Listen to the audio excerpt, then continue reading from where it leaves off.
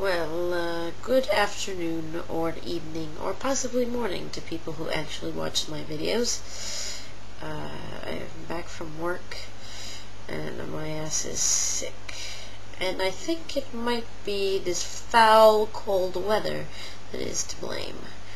Uh, I woke up this morning underneath my pile of blankets to look at my thermostat and saw it was 3 degrees Celsius in my apartment. So uh, for you kids who use Fahrenheit, that's 3 degrees before freezing. So I couldn't believe it, so I exclaimed to myself, No! And as I said no, I kid you not, I saw my breath. No! So I literally spent like 25 minutes contemplating whether to use my bathroom or not because my bathroom's like ice. Like fucking terrible. It's like torture just to pee.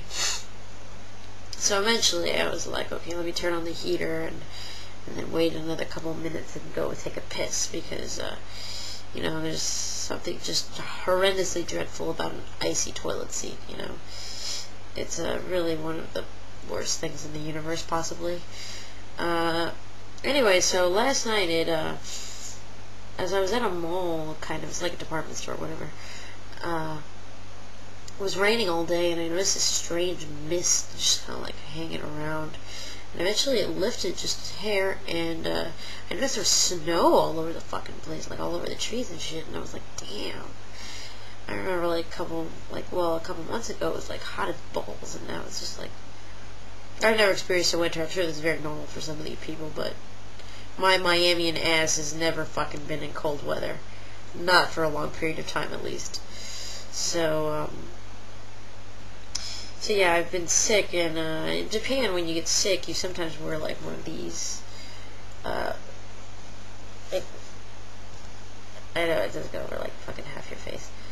Uh, like people think it's like gonna protect you from like passing your germs on, but it's really not proven because I see just as many sick people in Japan as uh, in America. But uh, I found myself wearing one not for the fact that I didn't want to spread my evil sickness, but because at some point of the day, my boogers literally liquidated. Like they just like fell out of my nose, and like and I was like, ah, god damn, no. And I don't want my students seeing that shit, you know. I didn't even want to see that shit. So um, I was like, well, at least this little mask can cover the fact that uh, I look like total and complete crap. I still look like total and complete crap right now. Look at my eyes, man. They have like that dark, I'm tired look that I've had since I graduated high school. Fuck, I can never get rid of that. But it's only more uh, obvious with the sickness. It seems uh, gets accentuated more. I guess that's the right word to use. So yeah, so you'll see if you ever come to Japan, this like little I'm sick ninja mask. They're all over the place.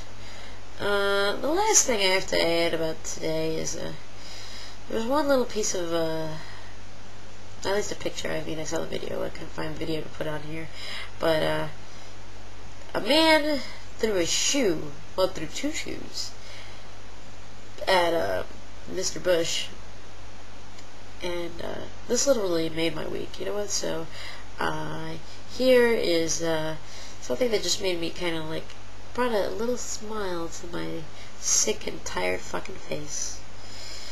Anyways, homies, uh, see you guys.